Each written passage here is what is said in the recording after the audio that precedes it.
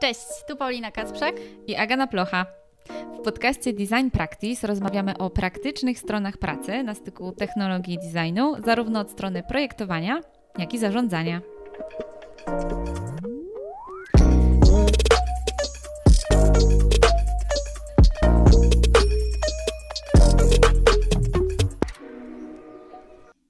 Serwus. Cześć. Cześć. Dzisiaj postanowiłyśmy e, nagrać dla Was taki specjalny odcinek podcastu. Jest to dziesiąty odcinek, więc z tej okazji e, chcemy trochę więcej na Wam opowiedzieć o nas. I miałyśmy nagrywać ten odcinek zupełnie asynchronicznie e, w zaciszu domowym, ale spontanicznie stwierdziłyśmy, że a, dobra, pójdźmy na żywo, może ktoś przyjdzie, może ktoś jeszcze zada jakieś pytania.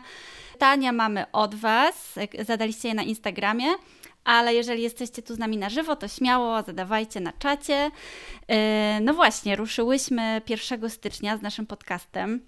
E, na początku było to raz na miesiąc, raz w miesiącu publikowałyśmy, teraz już dwa razy w miesiącu. E, właśnie wypuszczamy dziesiąty odcinek co dwa tygodnie, więc opowiemy Wam dzisiaj trochę o, o nas, o naszej pracy, o tym, mm, jak się poznałyśmy, jak sobie organizujemy pracę i trochę więcej o tym, kim jesteśmy. Tak jest. E, a w ramach przedstawienia się to jest ze mną Paulina Kacprzak, jestem Agana Plocha i razem tworzymy duet Design Practice. Czym jest Design Practice? E, dla tych, którzy nie wiedzą, bo może słuchają po prostu naszego podcastu, a nie śledzą naszych inicjatyw. E, jest to nasz biznes, biznes edukacyjny, w którym mamy taką misję szerzenia kompetencji przyszłości i bardzo wierzymy w to, że świat IT, świat technologii jest szeroki i chętnie przyjmuje humanistów, osoby z zacięciem artystycznym, artystycznym i bardzo nam się podoba taka wizja interdyscyplinarna. E, no i naszych e, inicjatywach e, pokazujemy, że warto uczyć się, warto zagłębiać się w takie kompetencje jak UX, jak product design, czyli takie myślenie produktowe, jak web design, ale także takie mm, nisze i specjalizacje jak projektowanie treści, czyli UX writing. Dobra, słuchajcie, to może zaczniemy od, od takich trzech ciekawostek. Każda wam, każda z nas powie wam o rzeczach, które być może może nie wiecie, a które są e, w miarę istotne jakoś wpłynęły, ukształtowały na to, jak, jak, jak działamy. Paulina, może ty zaczniesz? Dobra. Taką ciekawostką o mnie jest to, że jestem z wykształcenia projektantką graficzną. Studiowałam na Uniwersytecie Artystycznym w Poznaniu i e, taką działalność edukacyjną, właśnie w edukacji w branży kreatywnej, rozpoczęłam od tego, że zaczęłam organizować konferencję Element Talks. Na początku to się nazywało Elementarz Projektanta e, z Olgą Rafalską. Organizowałyśmy to przez 6 lat e, i pierwsza konferencja była naszym dyplomem licencjackim. E, na trzecim roku studiów stwierdziłyśmy, że a, zaprosimy osoby, które podziwiamy z tego środowiska projektowania graficznego i zapytamy ich o to, czego po prostu nie wiedziałyśmy, jak e, pracować z klientami, jak podpisywać umowy, jak organizować sobie pracę, czyli wszystko to, czego na uczelni gdzieś tam nie ma, takich bardzo praktycznych rzeczy, takich codziennych. No i yy, na początku no, planowałyśmy, żeby to było dla 20-50 osób z naszego roku. E, a jak otworzyłyśmy zapisy, to zapisało się 800 osób, więc e, okazało się, że jest to gdzieś tam taka nisza, którą można zagospodarować, którą e, my właśnie wypełniłyśmy naszymi konferencjami. No, więc to jest taka ciekawostka z wczesnych yy, części jakiejś mojej kariery. A jaką ocenę dostałyście z, A, za, za, ten dyplom? Celującą, celującą. O, brawo, brawo, super, super. Mm, tak, ja też całe życie swoje mam w Notion. Kocham Notion, jestem psychofanką tej aplikacji, naprawdę. Potwierdzam. Człowiek, człowiek tabela, generalnie życie, życie w tabeli, upakowane w Notion. Ja muszę wszystko zapisywać, bo mam beznadziejną pamięć, dlatego aplikacje takie jak Notion e, po prostu ratują mi życie, e, bo nic nie pamiętam. Nie pamiętam też twarzy ludzi, to właśnie zawsze Aga się ze mnie śmieje, bo często właśnie jak jestem z Agą albo wcześniej jak e, z Olgą pracowałyśmy razem, no to ja pytałam, a znamy tą osobę? Bo ja po prostu nie pamiętam i to jest straszne, to jest naprawdę trudne, bo jest mi zawsze bardzo głupio. E, no ale niestety nie pamiętam twarzy po prostu i muszę zapytać osób, z którymi jestem, czy znam tą osobę.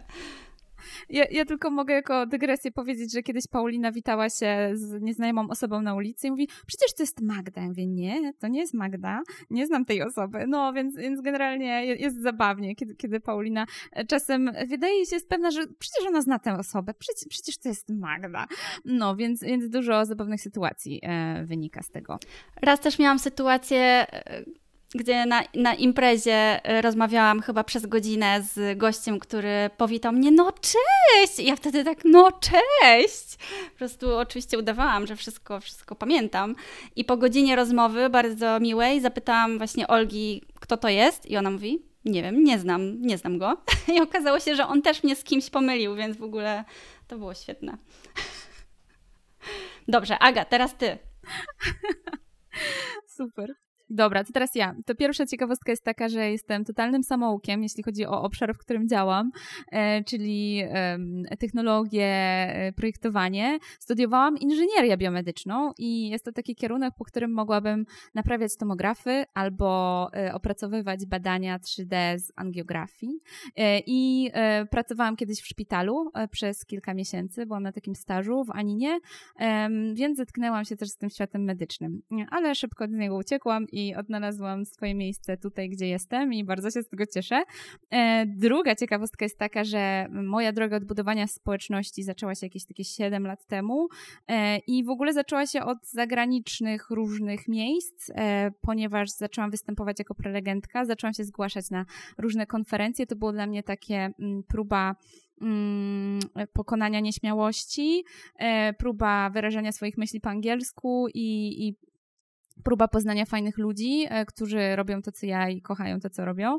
E, no i tak zaczęła, zaczęła się jakby moja przygoda. Bardzo działałam intensywnie na Twitterze, e, ale mm, z biegiem lat jakoś tak moja aktywność stała się intensywniejsza w Polsce i, i tak.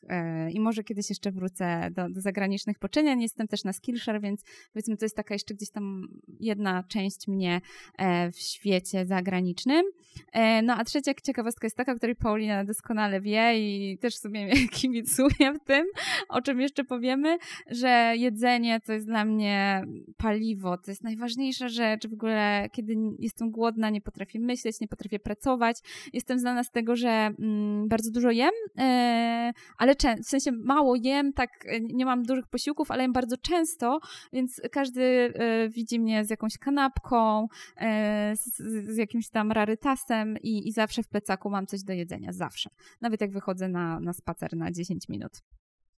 To, to tyle o mnie. Potwierdzam. Jak Aga jest głodna, to e, lepiej uważać. No i obie jesteśmy wielkimi fankami jedzenia, kochamy jedzenie, więc e, jak czasami nagradzamy się za dobrą robotę jakimś dobrym jedzonkiem. Tak jest. I to jest super, że możemy się dzielić tą pasją do jedzenia. Aga jeszcze dodatkowo ma pasję do gotowania. Ja niestety nie, ale ja korzystam z tego. No, zapraszam. Tak, jeśli są osoby, które w jakiś sposób są związane z różnymi, z gastrobiznesami, e, to my bardzo chętnie wejdziemy w kolabo. E, można płacić nam w jedzeniu. E, nasze ulubione miejsce w Warszawie, Paulina, to, to chyba Bibenda, nie? Mm, tak, tak na gorąco myślę. Tak, tak, Bibenda Kocham, kocham Bibendę.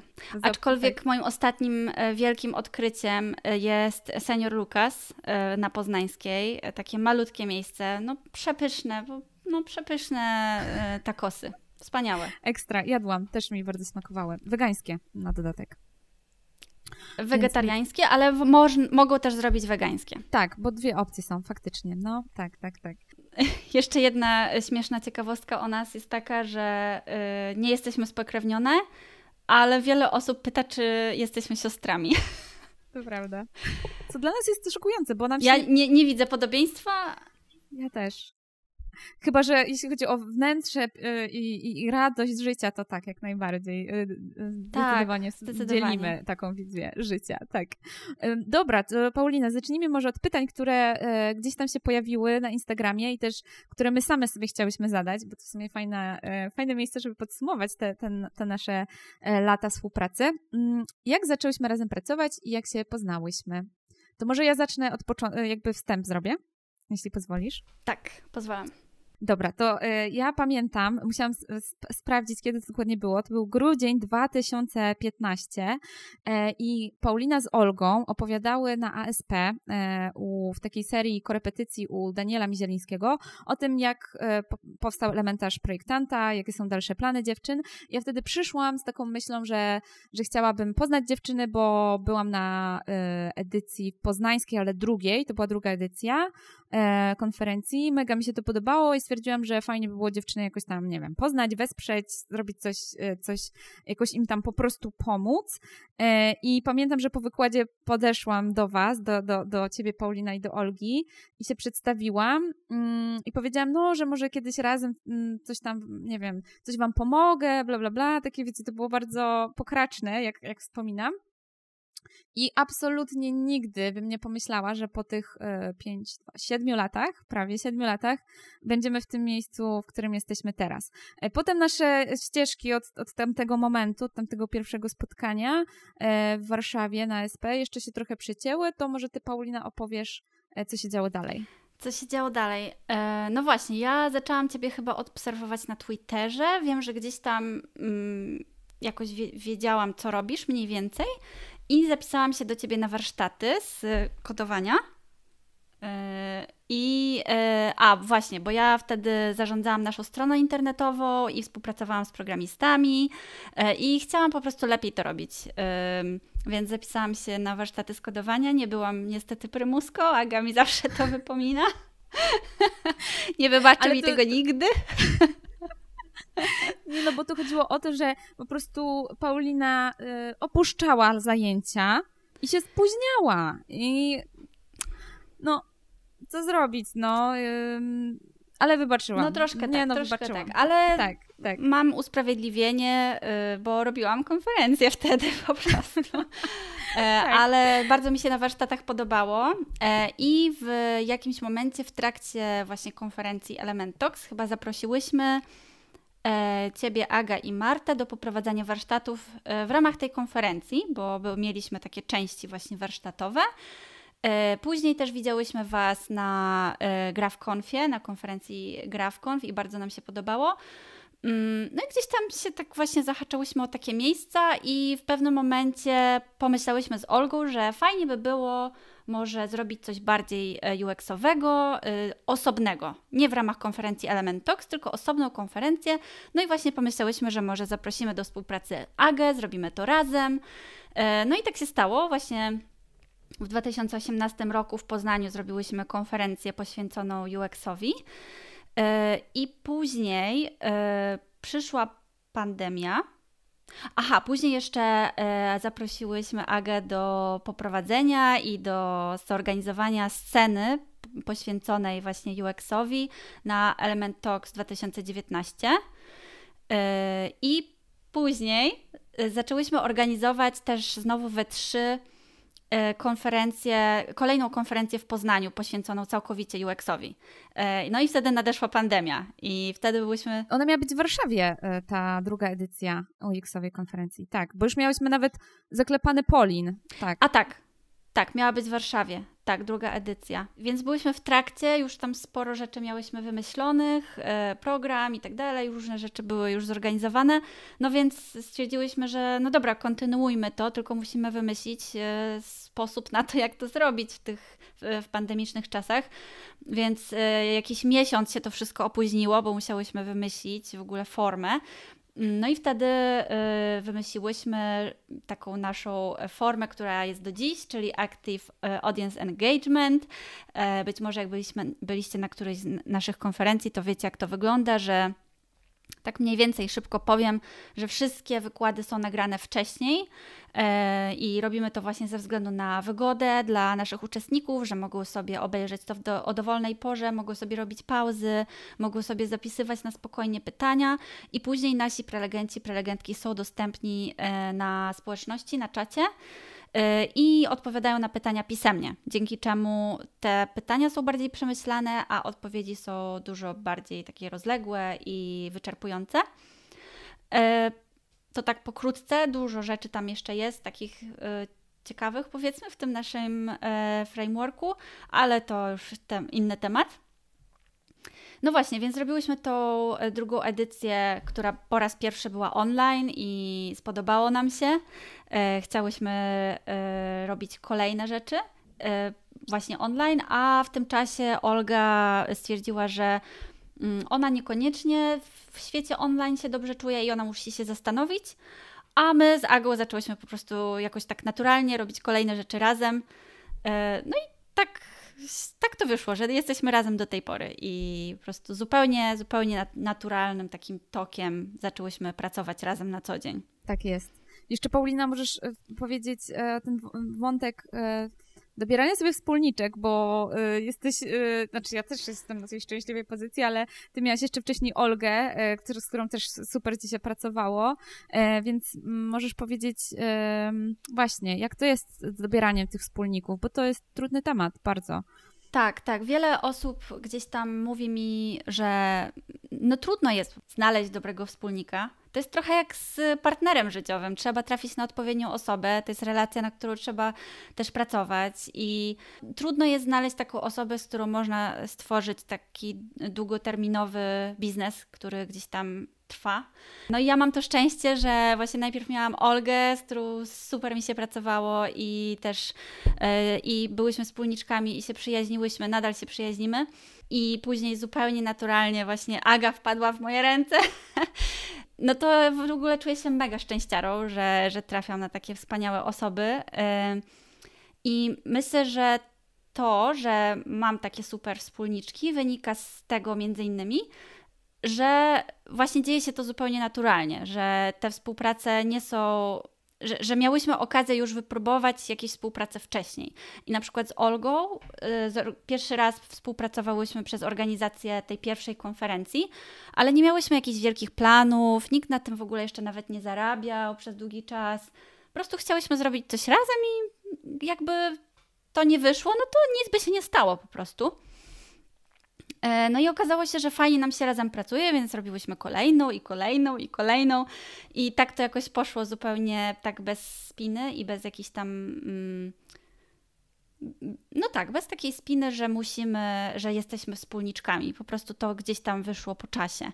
No i z Ago dokładnie tak samo. E, po prostu przy okazji jakichś takich mniejszych współprac okazywało się, że chcemy pracować razem więcej i więcej i więcej i te okazje się po prostu gdzieś tam same nadarzały, my te okazje tworzyłyśmy, więc yy, fajnie jest to robić właśnie tak naturalnie. I my zresztą też właśnie z Agą pracując razem zapraszamy do współpracy różne osoby i czasem z tych współprac też wynika coś więcej. E, na przykład e, robiłyśmy konferencję e, słowa UX Writing Conf, o właśnie o skoncentrowanej na projektowaniu treści. No i tam współpracowałyśmy przy tej konferencji z Kariną, y, która była odpowiedzialna za program, a Karina y, wcześniej y, prowadziła warsztat na innej naszej konferencji. Więc, e, no, więc jakby w ten sposób można poznawać nowe osoby. E, a też zresztą pewnie wiecie, że e, z Tomkiem, który prowadził Digital Designera, kurs Digital Designer, więc jest to bardzo duży projekt, który razem zrealizowaliśmy. Długo, no, du, du, dużo czasu zajął, bardzo dużo razem pracowaliśmy. Ja też z Tomkiem pracowałam wielokrotnie przy Element Talks, więc znałam Tomka od, zarówno od takiej strony mm, współpracy, takiej biznesowej, jak i od strony towarzyskiej, bo też się przyjaźniliśmy bardzo długo i razem pojechaliśmy na wakacje, odwiedzaliśmy się przy okazji jakichś imprez, więc po prostu znaliśmy się z różnych stron, wiedzieliśmy, że gdzieś tam ta współpraca wyjdzie i nie mamy się czego obawiać. Super. No właśnie, a propos tego łączenia życia towarzyskiego ze sprawami biznesowymi, to pojawiło się takie pytanie, e, jak my to oddzielamy? No bo e, poza tym, że super nam się pracuje, to też super nam się po prostu przyjaźni i, e, i też spędzamy często ze sobą wolny czas. I myślę, że to jest coś, co też mm, jakby wypływa naturalnie, to znaczy mm, no to, co same zauważyłyśmy, że jak się zdwaniamy online przy, przy okazji jakichś projektów, to, to faktycznie jesteśmy takie bardziej konkretne, skupione, skupione i tak do meritum. A jak się spotykamy na żywo, no to jest jeszcze ten czas taki trochę na dekompresję, właśnie na, na poruszenie jakichś takich luźniejszych tematów, co też jest super, no bo trochę nas odstresowuje, buduje relację naszą i, i my też się nie bronimy przed tym, żeby, wiecie, jakby siedzieć z zegarkiem w ręku i, i te spotkania były takie bardzo e, po niemiecku, e, w cudzysłowie, e, więc, więc to się gdzieś tam naturalnie przeplata i chyba to jest też ta, ta, ta siła, że że my po prostu mamy dużo fanu w, tych naszych działaniach, bo, bo jakby nawzajem się wspieramy i, i jak jest też ciężko, to rozmawiamy o tym i, i jakby po prostu jest też przepływ informacji i, i też fajnych rzeczy. Wydaje nam się, że, mm, że u nas nie ma z tym problemu. Jakby my tego nie odczuwamy. Nie, Paulina? Dobrze powiedziałam? Tak, że chyba nie przeszkadza nam to, że to się gdzieś tam łączy. W sensie tak. Oddziela się to gdzieś tam jakoś naturalnie. Jak mamy na przykład duże rzeczy do zrobienia, no to lecimy po kolei rozmawiamy o tych sprawach. Ale to, że na przykład jak się spotkamy, no bo jeździmy razem rowerami, czy gdzieś tam sobie idziemy razem po południu, spotykamy się ze znajomymi, mamy dużo wspólnych znajomych, no to jak wejdzie gdzieś tam temat taki pracowy, to w sumie też nie szkodzi, bo to gdzieś tam też jest, ta praca też jest gdzieś tam naszym życiem i to też jest okej. Okay. Wydaje mi się, że jakoś w miarę zdrowo potrafimy to rozdzielać, ale jednocześnie to nie jest takie grubą krechą oddzielane, bo, bo to też jest coś, co lubimy i co jest fajną częścią naszego życia, więc troszkę się to łączy, ale tak. nie szkodzi. Dobra, to kolejne pytanie. Jak wybieramy projekty i tematy naszych inicjatyw? W pierwszej kolejności musi nam się to podobać, czyli to musi być coś, co y, nas interesuje po prostu, w czym chcemy się rozwijać, y, bo my też się uczymy przez to, co robimy jeżeli ro robimy konferencję o y, o analizowaniu danych produktowych, no to znaczy, że chcemy też się lepiej tego nauczyć i podpytać różne inne osoby, jak one to robią. To jest w zasadzie jakby cały czas, yy, cały czas od początku tak samo. Po prostu jesteśmy ciekawe, więc zadajemy pytania i, za, i zapraszamy innych do tego, żeby na nie odpowiadali. Więc to jest y, jedna rzecz, y, musi nas to interesować. Druga rzecz, no to teraz już y, bierzemy pod uwagę aspekt biznesowy, no czyli jakby sprawdzamy, czy projekt ma szansę przynieść nam jakieś pieniądze. Na samym początku zarówno ja, jak i Aga robiłyśmy bardzo dużo projektów społecznych E, które no, nie przynosiły nic, albo do tego dokładałyśmy. I to też był w sumie fajny czas, e, ale teraz już jest dla nas ważne, żeby, no, żeby po prostu też było, żebyśmy miały za to też wynagrodzenie. To jest ważne. Oprócz tego też, y, no właśnie, jak te dwie, dwa warunki powiedzmy są spełnione, no to pytamy też ludzi, y, czego potrzebują, no bo to, że my mamy intuicję, że na przykład na rynku jest y, jakaś potrzeba, że widzimy gdzieś tam wśród naszych znajomych, czy na LinkedInie coś się przeplata, że widzimy, że jakiś temat mógłby być fajny, no to nie znaczy, że jest to prawda. Po prostu to jest gdzieś tam nasza intuicja, która może nas zawieść, więc pytamy poprzez ankietę, poprzez właśnie jakieś badania w naszej społeczności. No właśnie, mamy społeczność, na którą obie pracowałyśmy latami, więc dla tej społeczności robimy e, wszystkie te rzeczy, więc jakby wasz głos jest tutaj najważniejszy. Jeżeli na przykład by się okazało, że w ogóle nie jesteście tym zainteresowani, no to bez sensu to robić. Więc to jest bardzo ważny czynnik w dobieraniu takich projektów i tematów.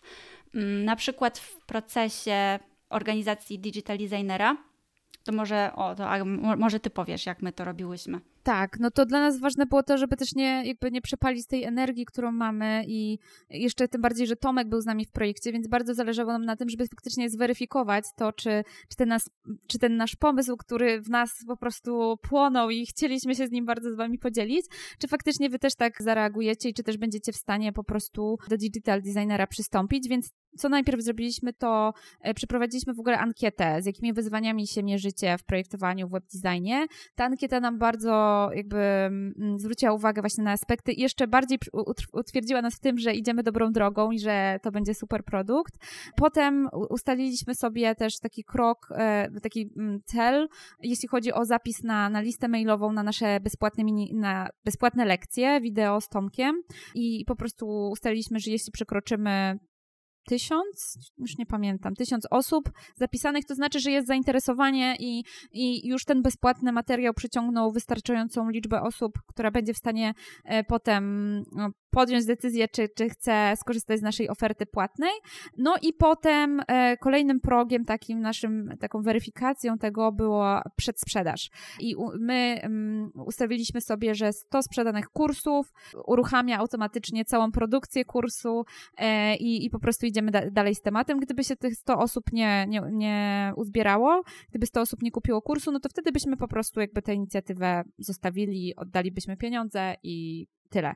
E, więc, więc to było super, bo robiliśmy to bardzo w takim duchu, który wy pewnie wyznacie z pracy, tak agile'owo, małymi krokami. Robiliśmy takie po prostu e, iteracje tego i no i to wyszło super. Jesteśmy z digital designera mega dumni. Nie ma tu z nami Tomka, ale pewnie, pewnie też by potwierdził, że, e, no, że jest, jest zadowolony z tego, co, co się wydarzyło. Dobra, to słuchajcie, to idziemy dalej. Dlaczego stawiamy na online, e, na świat online i nie chcemy już konferencji stacjonarnych? To ja zacznę teraz i potem Paulina tobie oddam pałeczkę. Paulina e, zdecydowanie więcej konferencji organizowała niż ja, e, stacjonarnych, e, no ale ja też miałam doświadczenie chociażby z taką konferencją jak Frontend, to była mm, największa konferencja w Polsce, jeśli chodzi o frontend. I pamiętam naszą wspólną konferencję w Poznaniu, Element UX Talks, po której ja byłam dwa tygodnie na antybiotykach i po, powód, dlaczego stawiamy na online, jest taki, że mm, po pierwsze to jest mniej stresu, e, oszczędza nasze zdrowie, e, bo każda z nas przypłaciła i nerwami, i, i właśnie jakimiś takimi później historiami e, z infekcjami gardła i tak dalej, i tak dalej.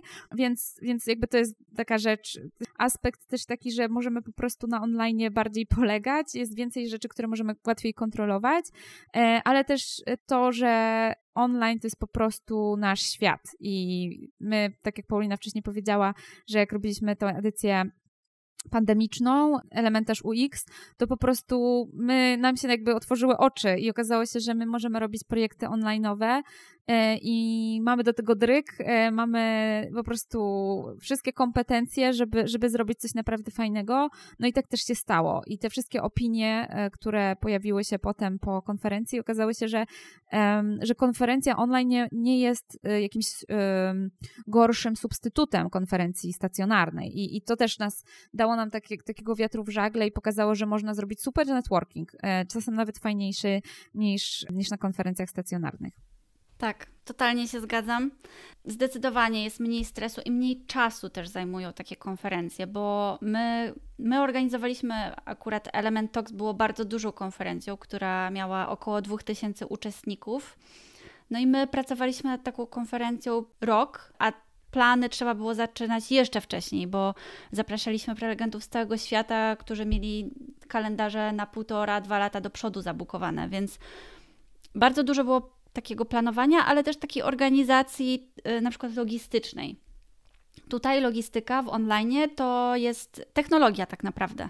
I my się z Agą obie bardzo dobrze czujemy w technologii i dużo łatwiej można tą technologię kontrolować, a w świecie offline'owym niestety nie zawsze. I na przykład My chcieliśmy, żeby te konferencje miały taki swój fajny klimat e, festiwalowy, taki letni, dlatego nasze konferencje odbywały się nie w konferencyjnych salach, tylko w halach pofabrycznych, które musieliśmy wyposażyć od zera dosłownie, tam nie było nic, więc bardzo dużo czasu to zajmowało. No i też niestety mm, często na przykład było tak, że a to gdzieś tam był problem z dźwiękiem, a to było za gorąco, a to było za zimno.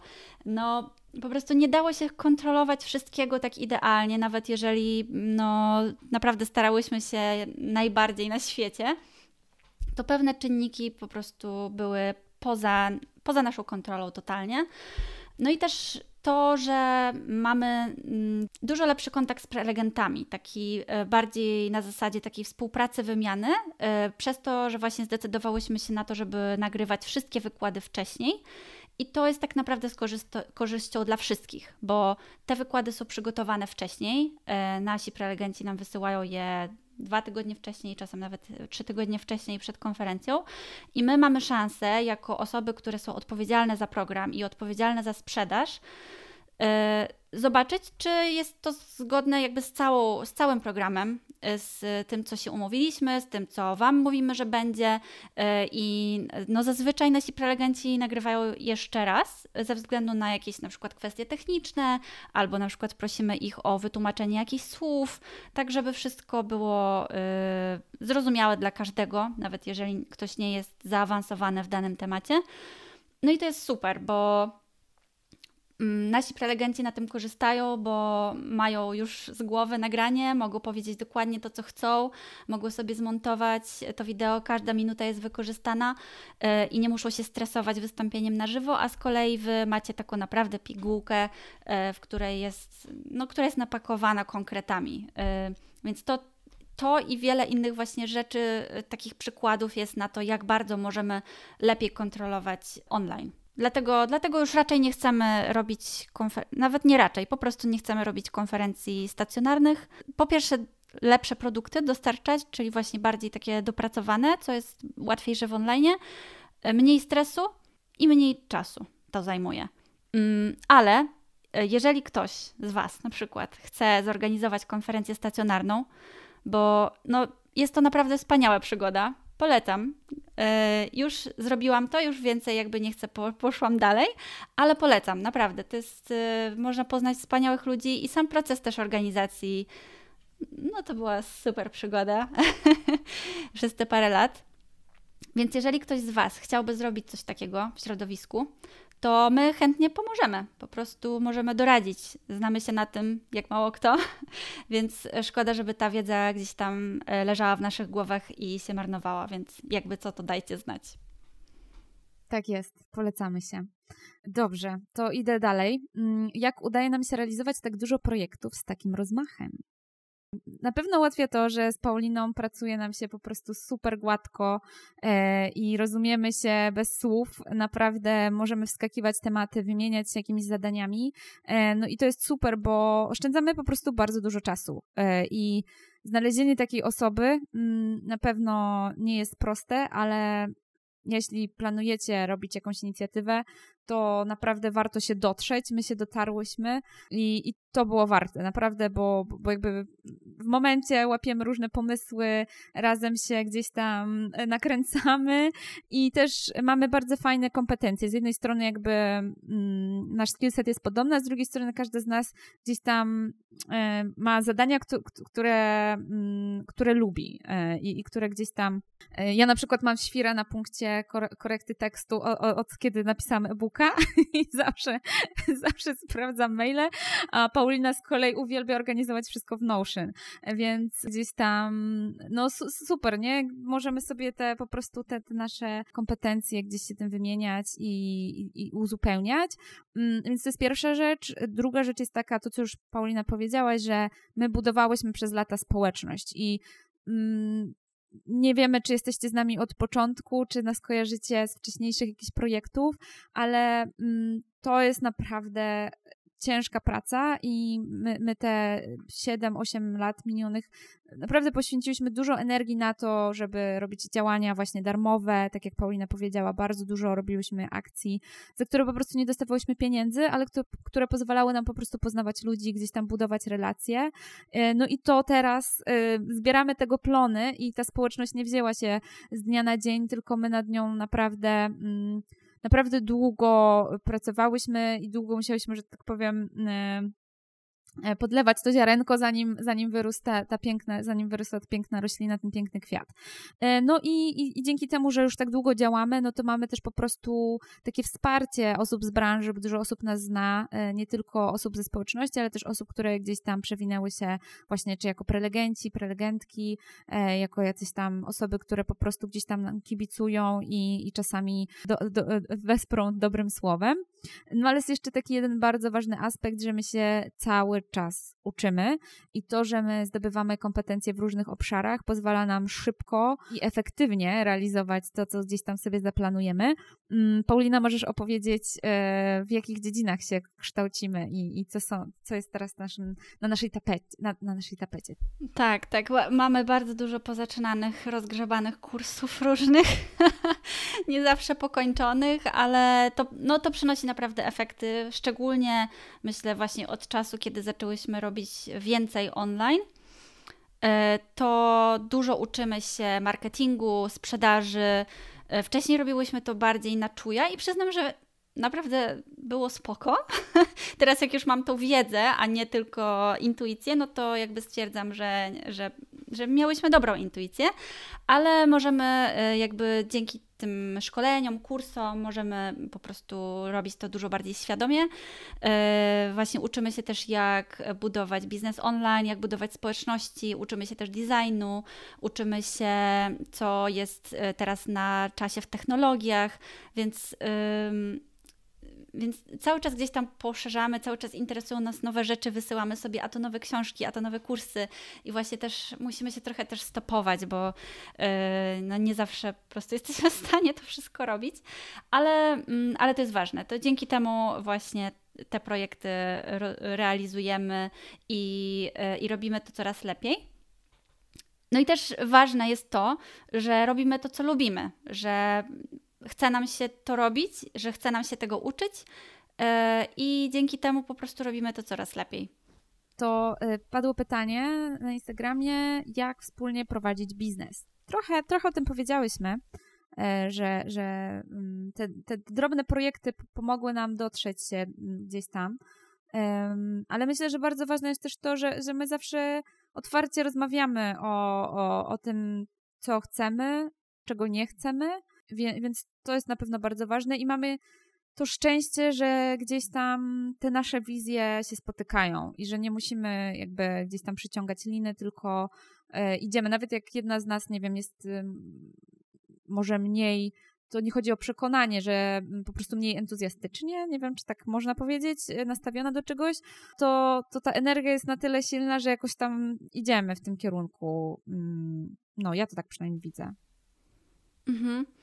Tak, no też jakieś kompromisy są ważne, no bo wiadomo, że każdy ma jakieś tam swoje preferencje, a wspólnie czasem wychodzi trochę coś innego.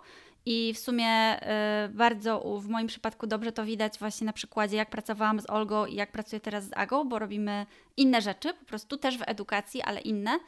I w obu się czuję dobrze i mm, no czasem jest tak, że na przykład y, ja bym chciała coś zrobić, ale Aga tak za bardzo nie chce, albo Aga by chciała coś zrobić, albo ja za bardzo nie chcę.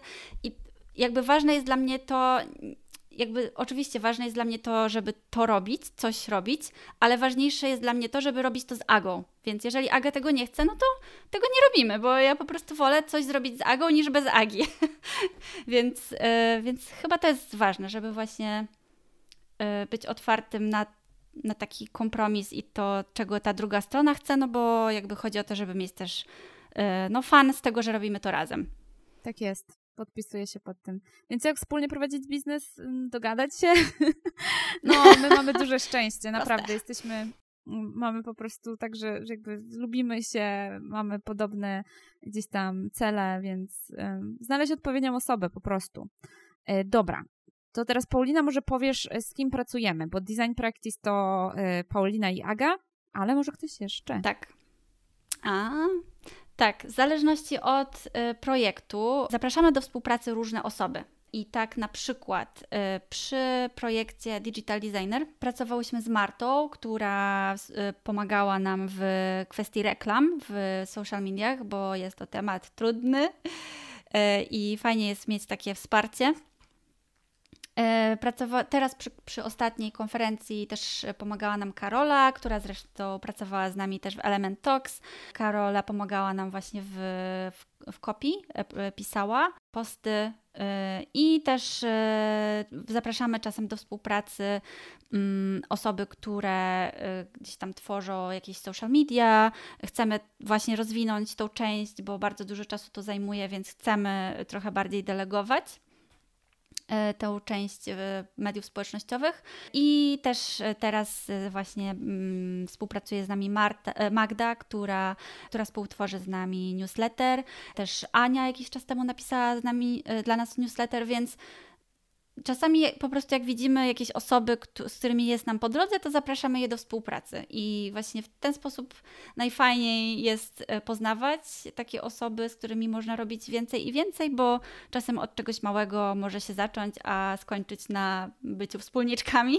Więc staramy się w ten sposób to robić. Zapraszamy osoby do współpracy jakichś takich mniejszych i, i później patrzymy, co, co może być z tego dalej. Tak, no taki nasz plan, yy, myślę, na, na ten rok to jest, żeby właśnie więcej rzeczy delegować, no bo bardzo dużo rzeczy robimy same i no niestety nie starcza już nam czasem czasu po prostu, więc, więc chcemy ten, ten czas zyskać poprzez delegowanie zadań, takich właśnie jak social media. No i też y, oczywiście no, Tomek jest też przykładem osoby, z którą po prostu razem tworzymy projekt od zera, więc y, jest jeszcze tak, taki rodzaj osoby, z którą współpracujemy przy jakimś konkretnym projekcie od początku do końca. To też jest fajne i dla nas odświeżające zawsze, bo to jest jakaś e, kolejny głos e, w dyskusji, więc, więc super, super, e, super też taki, taki rodzaj projektu prowadzić. Dobra, mm, no to teraz mhm. pytanko. Czym jest dla nas design practice? Jaką misję realizujemy? Dobrze, to takim naszym chorem działalności no to jest wiadomo edukacja. E, chcemy, właściwie już to robimy, edukujemy specjalistów i specjalistki właśnie w, w takim obszarze digital, w obszarze produktowym.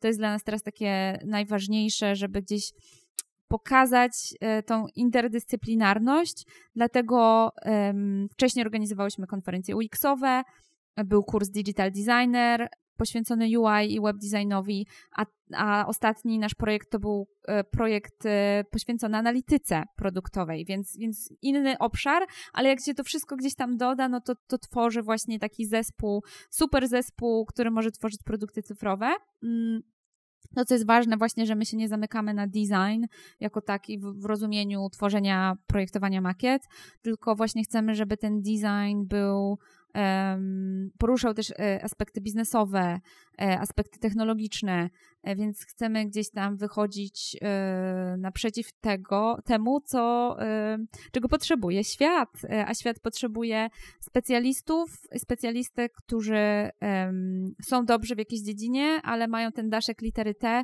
czyli to, to jest ta kompetencja T-shaped person, która po prostu potrafi tak generalnie połączyć różne obszary, żeby też lepiej się komunikować w zespole i tworzyć po prostu lepsze produkty.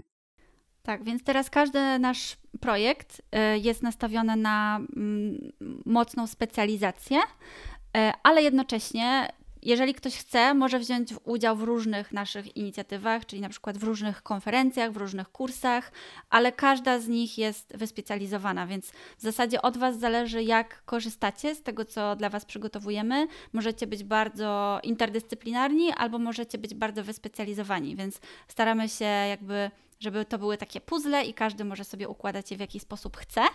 E, I też doszłyśmy do tego w zasadzie przez lata, do takiej strategii budowania takich produktów edukacyjnych, bo mm, no właśnie, wcześniej e, konferencje, które ja organizowałam, Element Talks, one były bardzo ogólne i to miało swoje plusy, bo dzięki temu, że było 2000 osób, no to można było spotkać bardzo różnych ludzi z branży, z całej branży kreatywnej. To było fajne, bo to był taki festiwal, na którym można się z każdym spotkać, wypić piwko i wymienić się doświadczeniami, ale jednocześnie e, nam, jako osobom, które tworzyły program tego wydarzenia, było bardzo ciężko stworzyć taki program, który odpowiadałby wszystkim, no bo po prostu te osoby były zbyt różne i nie dało się tego zrobić, więc w pewnym momencie postanowiłyśmy robić mniejsze wydarzenia, mniejsze produkty, ale bardziej wyspecjalizowane i możemy wtedy je robić trochę częściej, ale każdy może wybrać coś dla siebie i wydaje nam się, że to jest właśnie taki bardziej rozsądny kierunek. Tak jest. Dobrze, to Paulino, może podzielisz się tym, jakie mamy trudy i znoje na co dzień w Design Practice. Ola Boga. Gdybyś miała magiczną różdżkę to y, którą rzecz byś zoptymalizowała w naszym, w naszym biznesie? Wspaniałe pytanie.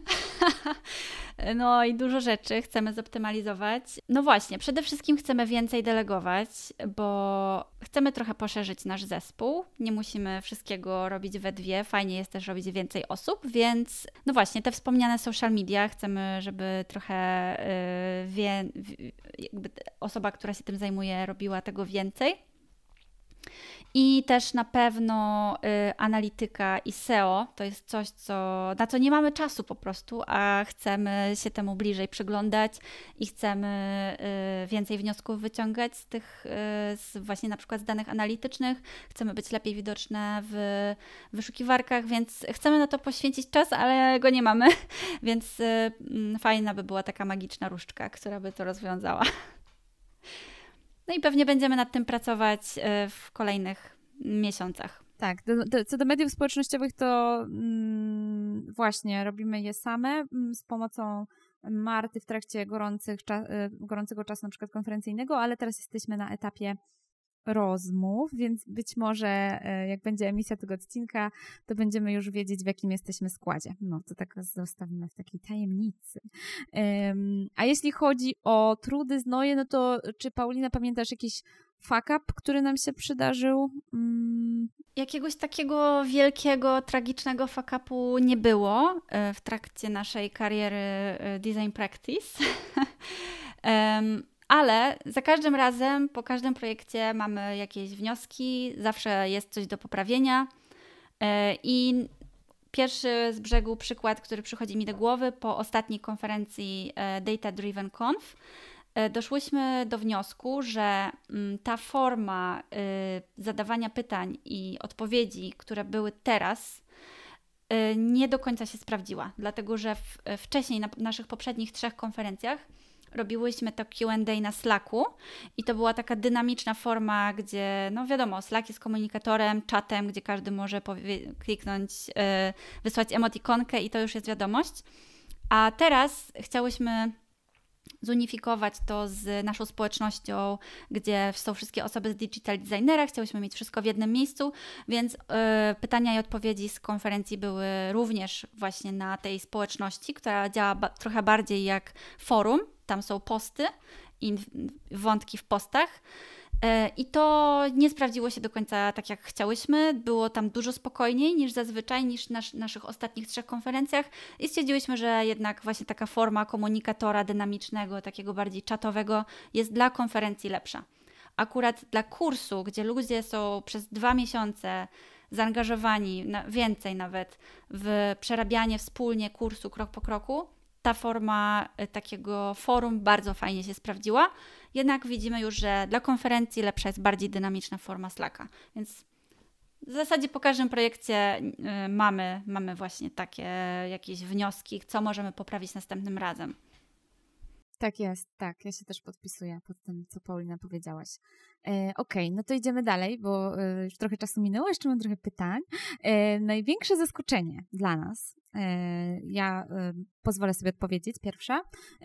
Dla mnie sporym zaskoczeniem było pozytywnym bardzo, było mm, przyjęcie konferencji słowa UX Writing Conf, a właściwie zainteresowanie jej, bo to była konferencja, na której nie wydałyśmy ani grosza na reklamy i wszystko robiliśmy organicznie, I też to była trudna konferencja, bo ona nie była najtańsza, a obszar bardzo niszowy, no bo w Polsce ilu jest projektantów treści i projektantek? Całe szczęście coraz więcej, ale wówczas to było 2021? E, tak, to było w zeszłym roku, w maju? Tak, e, wtedy organizowałyśmy tę konferencję. To właśnie, mm, no wiecie, ten temat już był powiedzmy gdzieś tam osłuchany w środowisku, ale jeszcze e, robienie konferencji stricte pod ten temat no nie było popularne, mm, a udało nam się sprzedać 150 biletów i to było super, naprawdę. Uważam, że to było super osiągnięcie, zważywszy na to, ile czasu poświęciłyśmy, jakby mm, od kiedy, kiedy zabrałyśmy się za organizację tej konferencji, jak to się wszystko potoczyło, było mega dynamiczne, mega dynamiczny projekt i, i wyszło super, więc, więc to jest coś, co, co też nam trochę nadało takiej mm, siły i wiary w to, że wyspecjalizowane jednodniowe konferencje online też mm, mają sens i, i, i, Paulina, co od Ciebie? Podpisuję się pod Twoim zaskoczeniem. E, no, ja może pójdę jeszcze wcześniej, bo mnie z kolei bardzo zaskoczyło to, jak ludzie przyjęli e, konferencję online, pierwszą, którą robiłyśmy, bo no, dla nas to była też duża zmiana. Elementarz UX, tak w 2020 roku. Dla nas to była duża zmiana, no bo musiałyśmy od początku wymyślić formę, gdzie już miałyśmy przez 6 lat sprawdzone, to zupełnie coś innego. Więc e, no właśnie, tak jak wcześniej powiedziałaś, że okazało się, że to nie jest jakiś tam marny substytut spotkanie na żywo, tylko jest naprawdę fajno, fajnym, pełnoprawnym spotkaniem, które może dać e, i edukacyjnie, i networkingowo nawet więcej niż konferencja na żywo. Więc to było dla mnie ogromne zaskoczenie, w ogóle entuzjazm ludzi, był super budujący i taki dający dużo siły, takiego kopa do działania dalszego, więc y, no to było super fajne. Tak. No i wiadomo, mm, wynik digital designera, rzecz, która nas po prostu wręcz onieśmieliła. Dołączyło do nas 980 osób, gdzie naszym celem było 100, e, przypomnę. E, więc, a potem ta energia, z którą widzimy, że jest trochę osób na czacie, które, które brały udział w kursie, więc super, że jesteście. E, I ta energia właśnie, z którą uczestniczy i uczestniczki potem się dzielili, e, pozytywne opinie, to jak Tomek super przygotował ten kurs, my byliśmy, jakby wiedziałyśmy, że to tak będzie, że Tomek zrobi coś naprawdę top of the tops, y, ale Musiałyśmy to jeszcze, wiecie, jakby wszystko opakować, y, komunikacja, społeczność, no i, i wyszło super, więc jesteśmy tak mega pozytywnie nakręceni tym, jak, jak ten kurs wyszedł i oczywiście będzie jesienna edycja, więc osoby, które do nas nie, nie dołączyły, będą mieć szansę, zapraszamy. Wrzesień, październik, pewnie to są te daty, y, które warto mieć z tyłu głowy. Dobrze, Paulina, co jest dla nas ważne w budowaniu design practice? Hmm, myślę, że najważniejsze dla nas jest budowanie dobrego doświadczenia dla naszych y, klientów. I od początku dbamy o to, żeby y, Wasze doświadczenie od zetknięcia się z naszą marką poprzez właśnie ten marketing, sprzedaż, żeby to nie było jakieś takie zbyt nachalne, staramy się przynajmniej, żeby to było przyjemne w odbiorze. No i później już jak jesteście w tym produkcie, czy to jest kurs, czy konferencja, czy coś innego, y, też żebyście mieli takie poczucie komfortu, żebyście mieli poczucie, że my to przemyślałyśmy, i że wszystko ma tam swoje miejsce. Y, staramy się dbać o jakieś smaczki, detale, żebyście się czuli zaopiekowani, y, a jednocześnie też, że nie, żeby nie było jakiegoś takiego sztucznego nadęcia, tylko żebyście wiedzieli, że jesteśmy na wyciągnięcie ręki, jesteśmy dla Was. Y, I chyba to jest takie najważniejsze, żeby nasi klienci mieli poczucie, że, mm, no, że robimy to dla nich i że, że, że są dla nas ważni. Aga, zgodzisz się ze mną? Totalnie, totalnie wyjęłaś mi wszystkie myśli z głowy. E, to był właśnie ten przykład naszej perfekcyjnej współpracy. E, ja myślę, że, że tak, że zdecydowanie plus mm, to, że właśnie ta społeczność jest dla nas mega ważna i, i jakby bez tego nie byłoby tej energii, nie byłoby też w nas e, tej motywacji do, do dalszego działania. No, więc, więc to jest mega ważne i ja jeszcze tylko powiem tak w ramach anegdotki, że Paulina e, jest taką osobą, e, to też jest super, która potrafi docenić albo y, znielubić jakiś produkt, bo ma zły customer service. Czyli jak Paulina, nie wiem, my korzystamy z o, po prostu ogromnej liczby produktów różnych cyfrowych, e, narzędzi i czasami Paulina pisze, co za buce, ale mi napisali, coś tam. A czasami jest wręcz przeciwnie, mamy jakiś problem, na przykład z MailerLite'em, którego, z którego korzystamy do wysyłki maili. I wielokrotnie nam się zdarzyło tak, że wiecie, jest ważny moment, na przykład otwieramy sprzedaż, a MailerLite ma akurat jakiś fuck up i linki nie działają mm, w naszych mailach. No i wiadomo, że jesteśmy trochę w tym wkurzone, no bo przygotowujemy się do tego momentu przez długi czas, a najważniejszy mail nie działa tak naprawdę, ale obsługa w MailerLite jest tak miła, że my póki co nie wyobrażamy sobie przenosić się do, do, do jakiegoś innego dostawcy um, tej usługi, więc ten customer service to jest, to jest coś też dla nas ważnego, że, że my chcemy po prostu też być takim fajnym customer service. Po, polecam, pa, Paulina, e, właśnie Paulina, później, później powiesz, że otwierasz bloga, mam nadzieję, e, ale ja tylko mogę ci zapowiedzieć, powiedzieć, że ja czekam na taki wpis. Ulubiony, e, ulubiony customer service Pauliny Kacprzak. O, świetne, zrobię tak, no. zrobię tak. Naprawdę, no ja, y, można mnie zniechęcić, tak, że jestem bezlitosna, ale bardzo łatwo też rozmiękczyć moje serce, y, więc jak, jak jest nawet jakiś poważny problem, a ktoś się mną dobrze zaopiekuje, jest miły i widzę, że chce pomóc, to ja wszystko wybaczam. I, i właśnie chcę, chcę być właśnie, chcę, żebyśmy my też były tak pomocne dla naszych klientów, bo bardzo to doceniam. I naprawdę są produkty, za które płacimy od lat. I no, ja jestem psychofanką niektórych, właśnie na przykład Notion albo Dropboxa jestem psychofanką. A kiedyś miałam taką sytuację, Aga, pewnie ty pamiętasz, bo to było chyba. To było w trakcie, jak organizowałyśmy e, UX-ową konferencję. E, wszystkie foldery straciłam. Nie wiem, co się z nimi stało, coś tam, co, coś mieli źle w produkcie, że coś kliknęłam i coś się zadziało, co nie powinno się zadziać i wszystkie foldery po prostu szak trafił. No ale y, bardzo się starali i po tygodniu się udało wszystko odzyskać i nadal jestem psychofanką. to prawda, polecam. ty mnie zaraziłaś. Ja zaczęłam korzystać z płatnego Dropboxa i tak, tak. To też tak działa, nie? Że polecasz produkt dalej. Nie tylko ciebie. Ja powinni mi za to dokładnie, płacić. Dokładnie. Ja jestem ambasadorką. Referale. Gdzie są twoje aktywną. referale? No. Dobra, to jedziemy dalej. E, pytanie z Insta. Jak dobieramy gości do naszego podcastu? przez zwykłą ciekawość. tak samo jak dobieramy mm, projekty, które realizujemy. E, ale tutaj mamy większą swobodę. E, po prostu zapraszamy osoby, który, które znamy na przykład i wiemy, że robią coś ciekawego, chcemy trochę więcej podpytać, jak to robią e, albo osoby, których nie znamy, ale na przykład pracują w ciekawych firmach, mają ciekawe stanowiska. No i dzięki temu, że prowadzimy podcast, mamy możliwość w ogóle porozmawiania z tymi osobami. To jest taki mm, fajny pretekst. Więc w zasadzie nasza ciekawość, nasze zainteresowanie to jest yy, taki czynnik najważniejszy. Tak jest, tak jest, potwierdzam. Potwierdzam i idziemy dalej. Mm, jak wyceniamy projekty jako konsultantki? To ja może tylko dodam, że faktycznie zdarzy nam się pracować tak Mm, konsultingowo, e, czy to bardziej z jakiego poletka service designu, ale też stricte UX-a.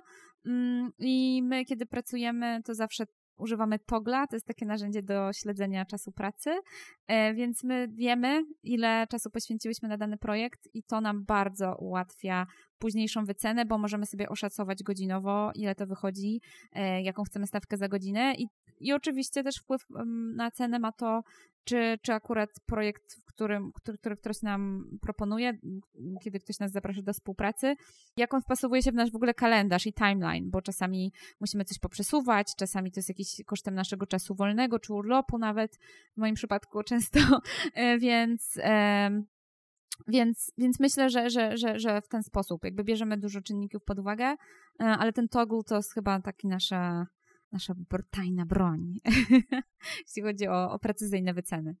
E, przy czym jeszcze możemy dodać, że często też mamy świadomość gdzieś tam y, później po czasie, że za nisko wyceniłyśmy swoją pracę i myślę, że warto o tym powiedzieć, bo to jest częsty problem e, w naszym środowisku, że jak ktoś gdzieś tam pracuje powiedzmy tak bardziej doryw, to nie jest jakby takie główne,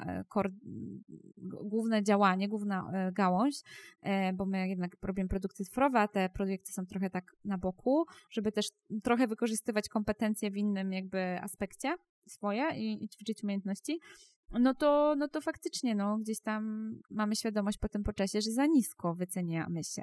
I, i też tak może tak, taki, taki komunikat do was, że nie róbcie tego. Bo my to, już, my to już zrobiliśmy i nie warto, naprawdę.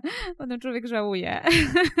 Lepiej było i nie wiem, tak, a też bardzo pomaga mm, właśnie w wysuwaniu w takich wniosków, w takiej analizie właśnie ten nasz TOG, y, którym trakujemy sobie czas, bo na przykład widzimy, ile nam wychodzi mniej więcej za godzinę w jakichś projektach, czy naszych, czy właśnie, które robimy z klientami konsultingowo i no później można sobie zobaczyć e, w przeszłość i stwierdzić, a tu wyceniłyśmy za mało, a tu za No, no nie, za dużo, to tak nie. się nie zdarzyło. Ale e, czasem się zdarza, że właśnie po prostu no po prostu można wyciągnąć te wnioski właśnie dzięki temu trakowaniu, więc to jest fajne, polecamy. Tak, dobrze, to teraz takie pytanie bardzo piękne, które też wpłynęło do nas drogą instagramową. co najbardziej lubicie w sobie? Tak, to jest fajne pytanie, faktycznie. A to ja zacznę, to ja zacznę. Zacznij, zacznij. A. No ja w Adze bardzo uwielbiam to, że Aga jest taka entuzjastyczna i że zawsze mnie tak nakręca do działania i że nawet jak jej wyślę SMS-a ze zdjęciem zupy, to odpowiada w entuzjastyczny sposób.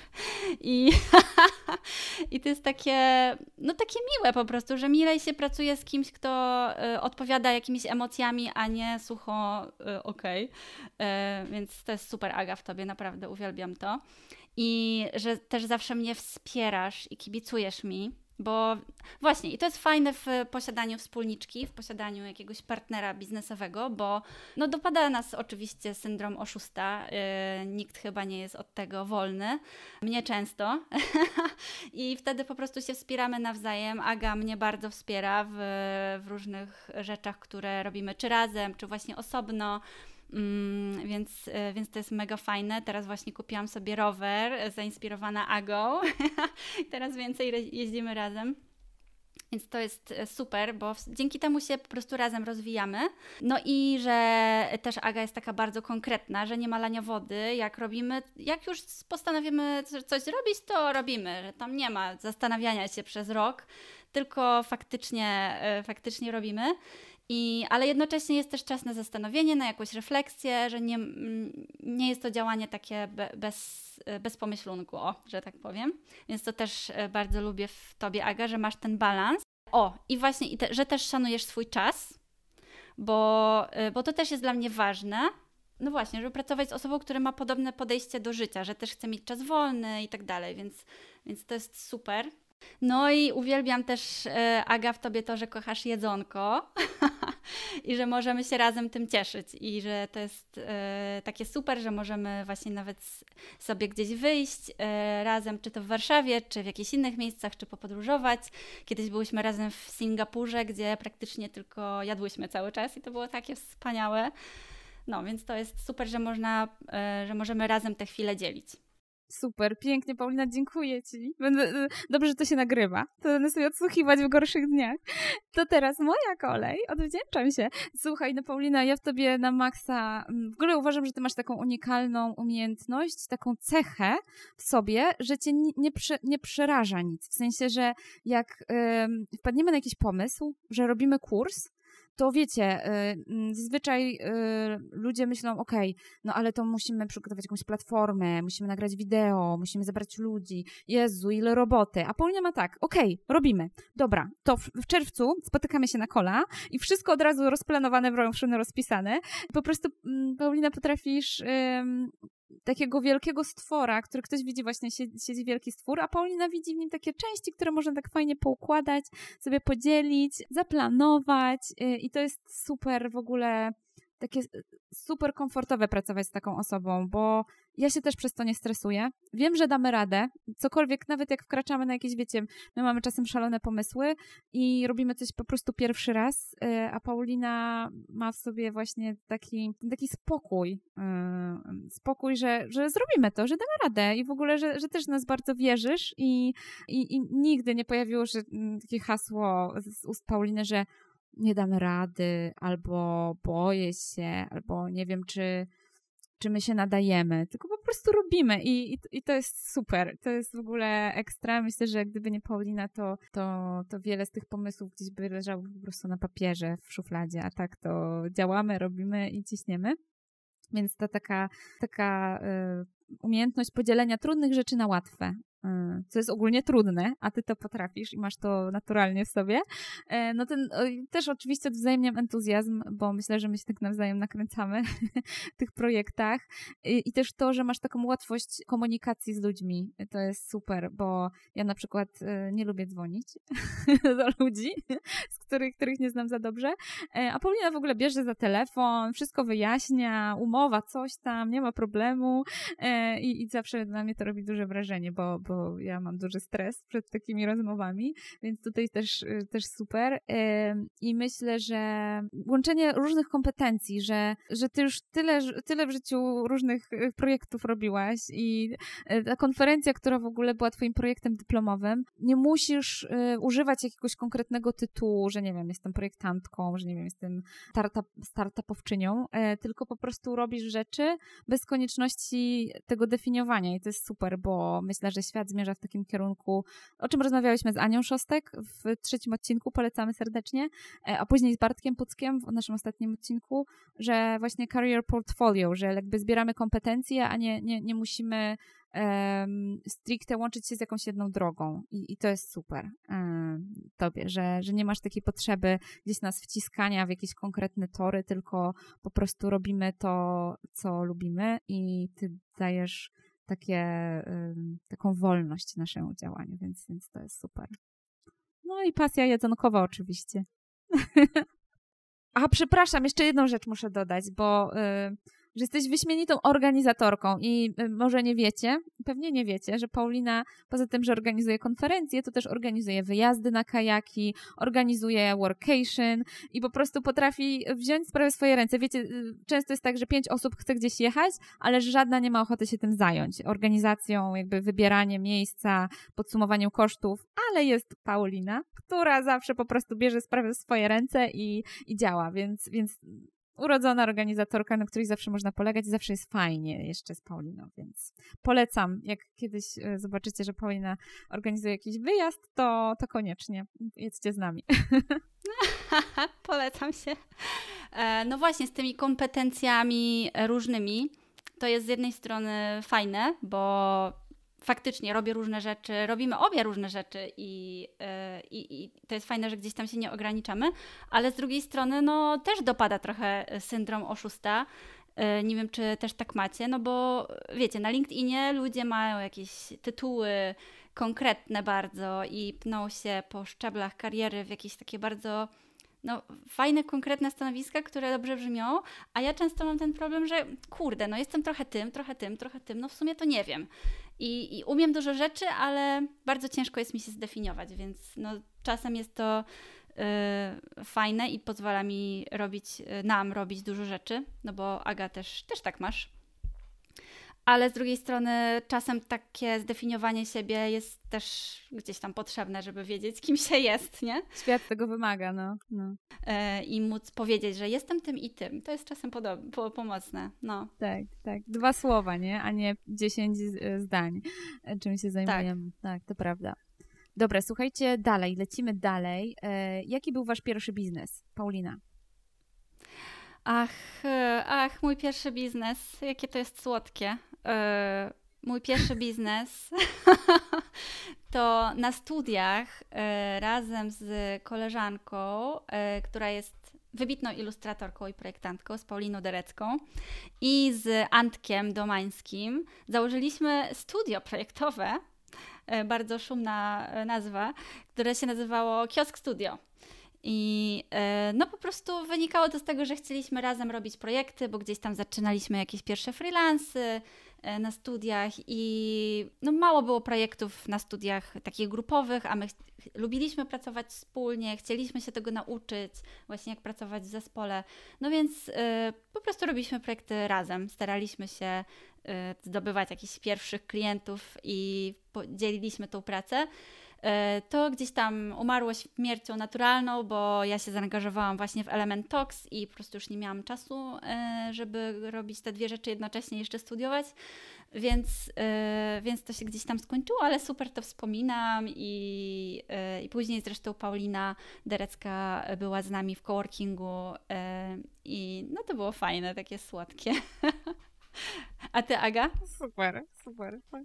Ja e, działałam freelancersko, powiedzmy, jeszcze jak e, w ogóle w gimnazjum, później jak studiowałam, mm, to robiłam strony internetowe takie bardzo amatorskie, ale były na nie zamówienia i moją pierwszą klientką była moja znajoma. E, być może nawet kojarzycie Lana Nuguyen. Lana teraz jest projektantką mody i ma też swój brand. E, no i ja dla Lany kiedyś robiłam jakąś tam, ona miała stronę fan klubową dla jakiegoś aktora, potem miała swoją stronę i tak jakoś tak e, te zlecenia gdzieś tam same się później skądś brały. Ale na pewno myślę, że życie freelancera w ogóle jest bardzo trudne i cieszę się, że my nie jesteśmy takimi freelancerkami, tylko jednak mamy jakiś tam produkt e, i, i możemy sobie przy tym produkcie działać, bo nie wiem, nie wiem, czy się nadawałabym się na freelancerkę. Myślę, że chyba nie. E, no ale fajnie było się sprawdzić. Tak. Pamiętam, że za pierwsze pieniądze kupiłam sobie pomarańczowy plecak Jan Sporta, który mam do dziś i który moja siostra często pożycza i go uwielbia. I ja zawsze jej wtedy mówię, to są moje pierwsze zarobione pieniądze, szanuj. No, więc, więc to mi zostało z pierwszego biznesu. Dobrze. E, pytanko, ile biznesów prowadzi, prowadzicie jednocześnie? No właśnie, robimy, co, co my robimy jednocześnie? E, to się jakoś tak naturalnie przenika. E, design Practice, czyli nasza taka działalność edukacyjna, kursy i konferencje mm, i newsletter i no, ta działalność konsultingowa, Aga robi The Awesomes, czyli to jest marka osobista Agi. Jeżeli nie wiecie, to koniecznie sprawdźcie na Instagramie. Jest super newsletter, który przychodzi co tydzień w piątki. Ja zakładam bloga też za chwilę. Yes. To jest publiczna deklaracja teraz, Paulina. Pamiętaj o tym. O nie. nie uciekniesz. Ja już o tym myślę od tak dawna. E, na tym blogu będę się trochę dzielić właśnie tym, jak e, jak organizujemy nasze projekty, jak, e, jakich narzędzi używamy, trochę właśnie tak od kuchni, to co robię na co dzień, e, trochę w ujęciu takim bizneso, biznesowo-startupowo-projektowym, takie połączenie trochę. No więc, e, więc zobaczymy, co z tego wyjdzie. No dobrze, deklaruję się, będzie, będzie. Świetnie, świetnie. Super. Możecie się zapisać na, na newsletter. Podlinkujemy pod, w notatkach do odcinku. Podlinkujemy, będzie pod, tak, notatki, pod, tak, zapraszamy koniecznie, na pewno będziemy jeszcze o tym przypominać, bo, bo warto, warto. Jak blok ruszy, to będziecie powiadomieni. Tak jest, tak jest. Dobra, to idziemy dalej. Co sprawiło, że stwierdziłyście, że koniec z etatem? To tutaj może warto wyjaśnić, że ja pracuję e, ciągle na etacie w korporacji, co prawda na niepełnym wymiarze godzin. Moim szefem jest wspaniały człowiek, e, Tadeusz Hełkowski, z którym miałyśmy okazję rozmawiać w szóstym, zdaje się, odcinku. Tadeusz opowiadał o ekonomii behawioralnej, o NFT. Jest wspaniałym człowiekiem i dlatego jeszcze pracuję w tej pracy, w której jestem, bo, bo jest naprawdę super. Um, więc, więc ja jeszcze jestem na etacie i łączę go z, e, naszą, z naszym działaniem. A Paulina, powiedz, jak to wygląda u Ciebie? A ja nigdy nie byłam na etacie, słuchajcie. Aha, ciekawostka. I, e, no. no właśnie. E, na studiach zaczęłam robić konferencje.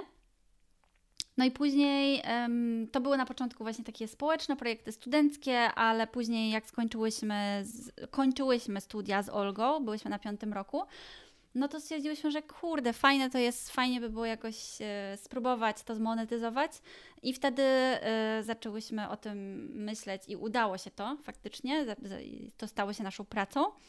Więc no po prostu nie miałam okazji pracować na etacie, ale przyznam, że myślę o tym, bo mm, no właśnie, bo jest to też okazja do tego, żeby spróbować e, powiedzmy czegoś innego niż w swoim biznesie, żeby spróbować e, coś tworzyć w innej skali na przykład i to mnie bardzo ciągnie, bardzo mnie interesuje.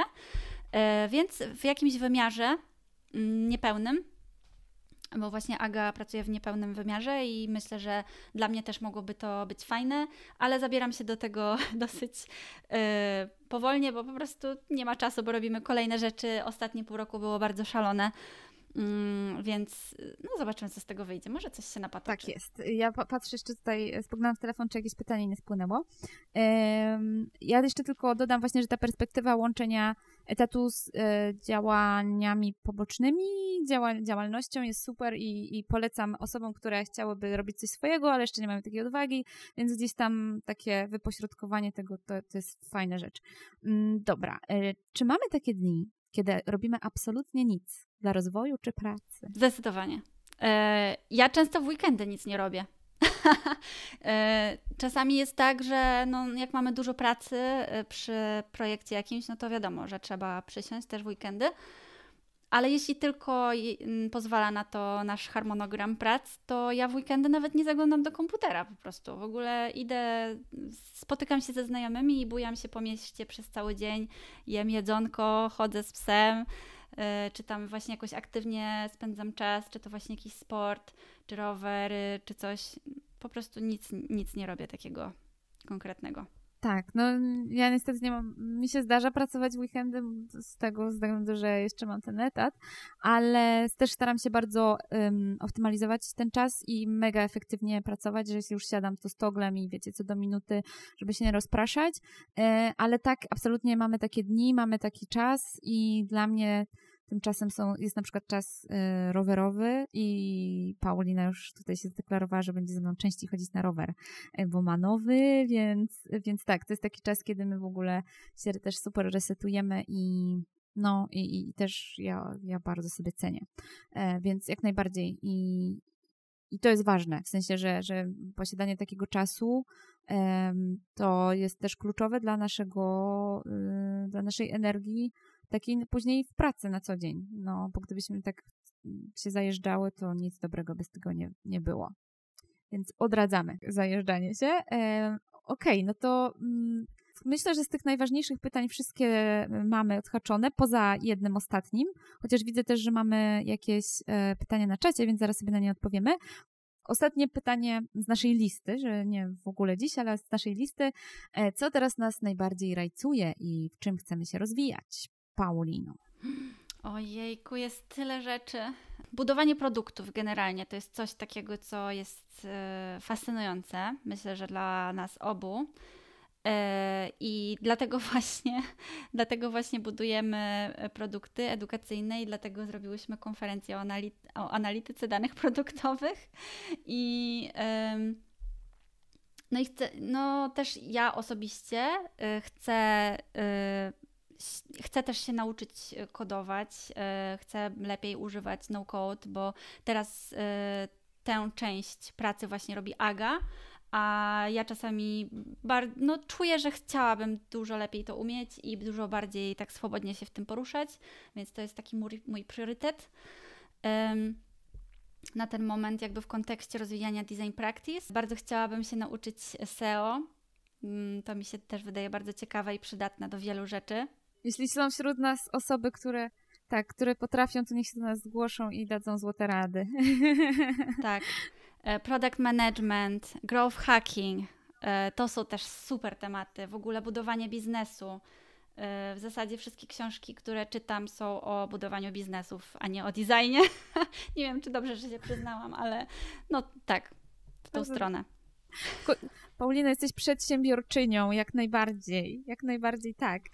Ja, ja się podpisuję pod tym, mm, zdecydowanie budowanie produktu to jest coś takiego co, co będziemy robić, e, co robimy i co będziemy robić jeszcze głębiej na pewno, bo chcemy się w tym rozwinąć i uważamy, że tak naprawdę fajnie jest mieć te dwie perspektywy, to znaczy pracować przy jakimś dużym produkcie, ale też robić coś swojego. Widzę, że tu padło pytanie właśnie, jak przejść na swoje, to mm, wydaje mi się, że gdzieś tam powoli, że, że, że nie rzucanie się na głęboką wodę, tylko powoli gdzieś tam mm, odkrywanie tych rewirów i, i łączenie właśnie um, jeszcze swojej pracy gdzieś tam etatowej e, z, z jakimiś swoimi pobocznymi pasjami, projektami. No, więc, więc jakby rajcuje nas produkt, tak, growth, jak, jak po prostu rosnąć, e, ale w zgodzie ze sobą i ze społecznością, właśnie budowanie społeczności, e, to jest coś, co, co będziemy kontynuować i, i co jeszcze? Mnie osobiście Bartek Pucek w ostatnim odcinku przekonał do tego, że to jest najwyższy moment zainteresować się AI e, i to jest taki obszar, który ja bardziej obserwuję, wiecie, z poziomu o, ale śmieszne, że wiecie, tam można sobie napisać notkę em, blog postową, wrzucając tylko trzy hasła kluczowe, a sztuczna inteligencja nam wygeneruje cały tekst, ale chciałabym bardziej poznać to od podszewki um, i widzę w tym ogromny potencjał i chciałabym po prostu to lepiej rozumieć, więc, więc na pewno AI to jest taki obszar, który gdzieś tam mnie fascynuje i na pewno taka rzecz, y, to jest taki mój konik trochę mm, prywatność e, w internecie, ochrona danych, e, coś, co ja mam bzika i Paulina wie, bo mam odinstalowanego Messengera, Whatsappa i tak dalej, i tak dalej. Mm, więc, więc chciałabym jakby też mm, myśleć o, o tym aspekcie projektowania czy, czy budowania produktów. To możemy przejść e, do pytań może jeszcze, które tutaj mamy. E, pytanko od We Are Hulo. Hulo, Hulo, nie wiem. Czy, czy Notion, czy tam organizujecie sobie wszystkie taski, procesy, workflowy? Prawie, tak. Generalnie wszystko, co zapisujemy, zapisujemy w Notion. Mamy tam e, właśnie taki Kanban, gdzie wrzucamy sobie zadania e, i mamy, no po prostu na każdy projekt mamy taki osobny, o, osobną stronę z takim kanbanem, ale oprócz tego jeszcze y, rozpisujemy sobie workflow w FigJamie. I to jest bardzo pomocne, bo w, w, w, przypadku niektórych projektów możemy sobie taki workflow skopiować i dostosować po prostu do nowego projektu, a często się gdzieś tam nie sądzę, żebyśmy o czymś zapomniały, ale to pomaga sobie przypomnieć szybciej i lepiej coś zaplanować po prostu, bo nie, mu, nie, muszę, nie musimy myśleć dwa razy o tym samym, tylko mamy już to po prostu zrobione, bo już robiłyśmy to w przeszłości. Więc e, jesteśmy też wielkimi fankami Figmy i FigJamu, e, więc, więc ta, to też wykorzystujemy, bo to jest takie fajne, graficzne przedstawienie całego procesu. A tak to Notion, kochane. Mhm. Jeszcze dodam, że właśnie ten cały nasz workflow opowiadałyśmy o tym na webinarze Easy Tools, e, więc podlinkujemy go e, pod e, notatkami. Dobrze. Mm, Haneke. Mm, zastanawiam się, po której wy jesteście stronie introwertycznej, takie mam wrażenie. Jak to się wpisuje w to, co robicie, czy nie przeszkadza wam to w działaniu? A myślę, że to jest super pytanie, mm, bo mi się wydaje, że Paulina jest ekstrawertyczką, a ja jestem introwertyczką. Ale Paulina zawsze mówi, gdzie ty nie jesteś introwertyczką, to nieprawda. E, ja może tylko dodam, że osoba introwertyczna rozumie e, w ten sposób, że niekoniecznie musi być to osoba nieśmiała, tylko bardziej e, osoba, która inaczej lubi spędzać czas wolny, czy korzystać, wykorzystywać swoją energię, to znaczy woli jakieś takie kameralne spotkania, mniejszy, jakby nie lubi tłumów, e, woli takie relacje kilka osób niż, niż w jakiejś większej grupie i ja myślę, że jestem taką osobą e, i gdzieś tam mm, może jeśli chodzi o tą nieśmiałość jest coś takiego, że poznawanie jakichś nowych ludzi, wchodzenie w jakiś taki nowy obszar, e, w, now, w nowe środowisko jest dla mnie stresujące, dlatego się tak postrzegam, a Paulinę z kolei widzę właśnie jaką taką duszę towarzystwa i zawsze potrafi z każdym zagadać, nawet jeśli nie pamięta twarzy tej osoby, to nie jest problem. I, i, I ja to tak widzę, przynajmniej to jest moja perspektywa. I mi się wydaje, że to też jest fajne właśnie, że my jesteśmy y, bardzo, jakby potrafimy znaleźć wspólny język i razem działamy, ale jednak jesteśmy trochę inne w takim obyciu e, tak nie socjologicznym, tylko w relacji z drugim człowiekiem. Może tak, że jakby mamy trochę inny styl, e, tak mi się wydaje, ale to moje spostrzeżenie. Jestem ciekawa, Paulina, co ty powiesz. Tak, zgadzam się, aczkolwiek też uważam, że na przykład ty jesteś dużo lepszą e, taką wodzirejką, że na przykład jak trzeba poprowadzić jakiś warsztat albo gdzieś tam przywitać ludzi, coś tam, coś tam, Wydaje mi się, że ty masz większą taką łatwość mówienia niż ja, takiego płynnego występowania. I to by się kłóciło właśnie z tą introwertyczką, no ale, y, no ale tak, tak jakoś jest. Ja chyba, ja też to lubię, jest to dla mnie ok, ale myślę, że ty masz dużo większą taką łatwość i robisz to lepiej. Mhm, dziękuję.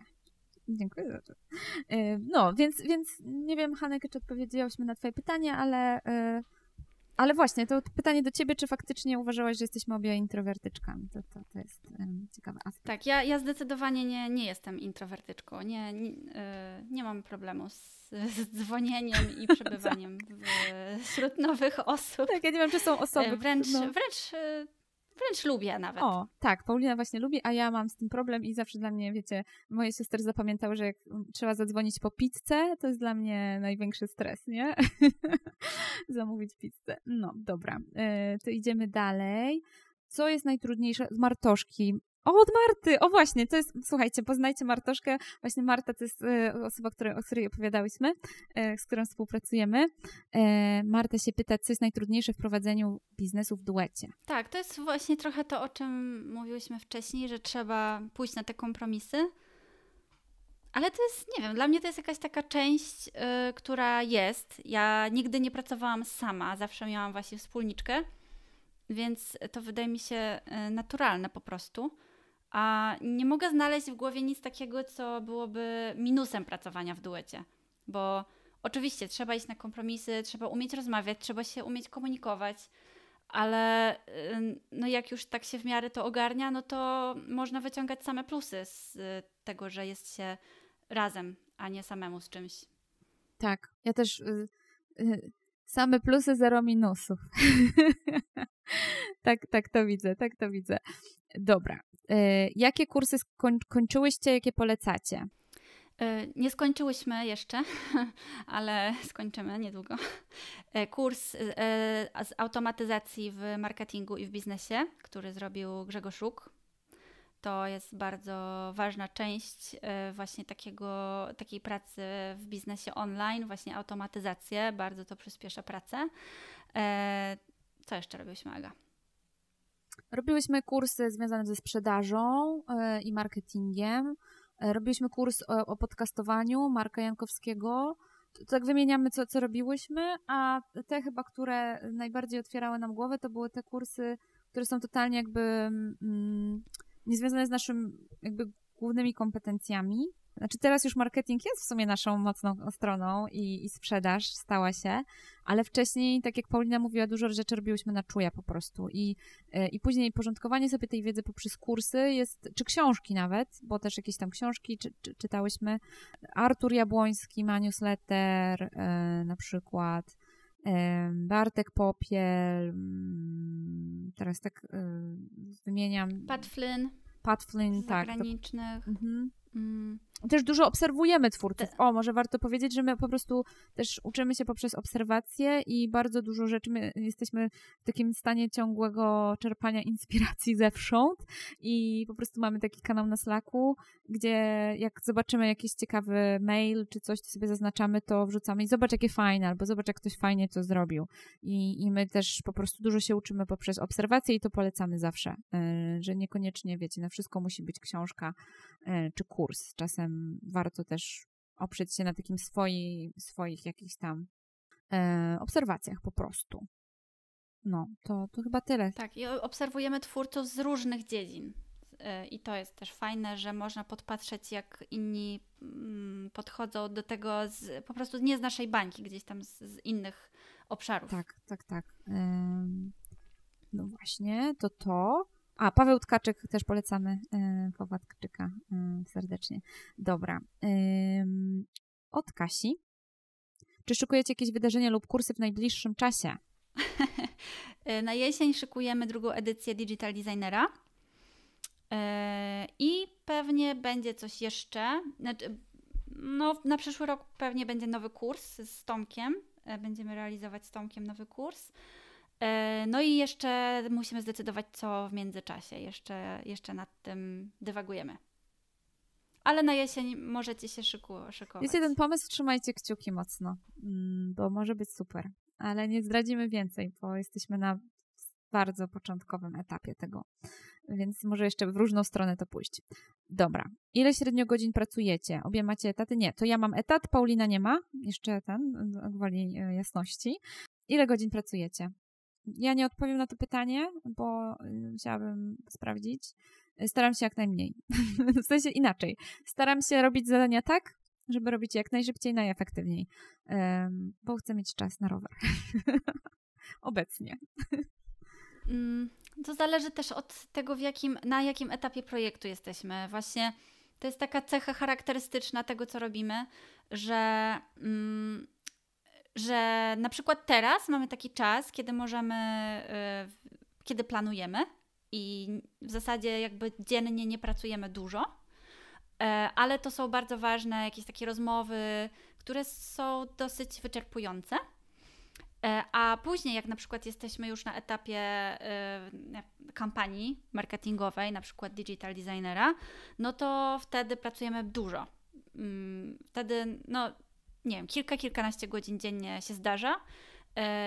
I też jest tak, że jak sobie to glujemy, czyli liczymy sobie czas, no to ten czas, powiedzmy, jak mamy zatoglowane 7 godzin, to znaczy, że przed komputerem siedzimy dużo dłużej, bo po prostu to nie jest tak, że toglujemy coś ciurkiem, tylko yy, robimy pauzę, coś tam jeszcze trzeba zjeść po drodze, iść do toalety, coś tam, coś tam, więc wychodzi bardzo długi dzień pracy, no i wtedy to już jest naprawdę dużo jak mamy zatoglowane na przykład 7, 8, 9 godzin, to już jest taki bardzo długi dzień. Tak, więc staramy się, żeby było mniej, ale no właśnie, w takich intensywnych momentach to jest kilka, kilkanaście godzin, a w mniej intensywnych powiedzmy kilka. Z jakich programów APEC korzystacie do systematyzacji organizacji pracy? Paulino, możesz tutaj wykrzyczeć. Ach, z miłą chęcią. Notion, oczywiście. E, Notion kochamy całym sercem i tam mamy wszystko. Ja tam mam całe swoje życie, oprócz pracy, to mam też nawet y, zdrowie psa, wszystko. Y, I numery do weterynarzy i tak dalej. no i więc to jest tak, takie nasze centrum dowodzenia. Oprócz tego korzystamy z Airtable, gdzie trzymamy wasze dane, po prostu bazy danych naszych klientów. E, i mamy to połączone za pomocą Make. E, Make to jest taki, e, taka aplikacja do łączenia różnych innych aplikacji ze sobą. Więc na przykład, jak kupicie od nas kurs, to trafia ta informacja właśnie do Airtable i automatycznie wysyła Wam się mail, który przygotowałyśmy w MailerLite. MailerLite to jest aplikacja do wysyłania maili. Mm, czego jeszcze? Dropbox którym trzymamy wszystkie też takie, mm, no wszystkie pliki po prostu, żeby mieć zawsze do nich dostęp. Figma oczywiście, gdzie wszystko projektujemy i też e, właśnie projektujemy swoje nie tylko graficzne projekty, ale też e, właśnie workflow i to w jaki sposób e, na przykład musimy coś wymyślić, no to wtedy na Figmie sobie rozpracowujemy na jakieś takie grafy, różne notatki. Tam też używamy tego narzędzia do tego. Mm, co jeszcze Aga taki? Aha, e, Easy Card do sprzedaży. To jest taki koszyk do płacenia. Za pomocą tego możecie kupić od nas kursy czy konferencje. E, StreamYard do streamowania takich e, live'ów jak ten. E, nasza społeczność jest na aplikacji Circle, Slack do codziennej komunikacji. Mm, no i też I korzystamy z jakichś tam mm, do programów do obróbki, do, do montażu wideo, Premiere, mm, Audition, Adobe Audition do edycji dźwięku. A, jeszcze strony nasze są zrobione albo na Webflow, albo na landingi.pl.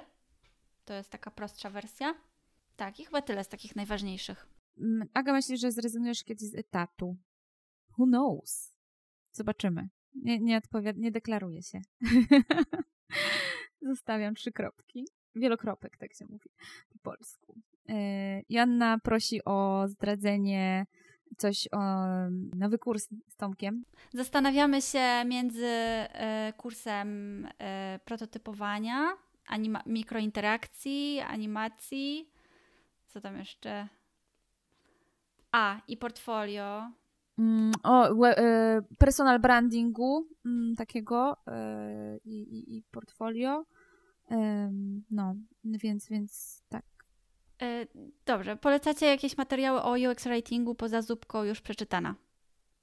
E, tak, zrobiłyśmy konferencję, dwie konferencje, e, jedną konferencję o UX Writingu, która się nazywa Słowa UX Writing Conf www.uxwritingconf.pl W tym momencie nie, jest, nie są w sprzedaży te, te materiały, ale możesz się zapisać na naszą listę, wtedy y, po prostu damy znać, jak, jak będą dostępne. Pewnie jakoś niedługo. Tak.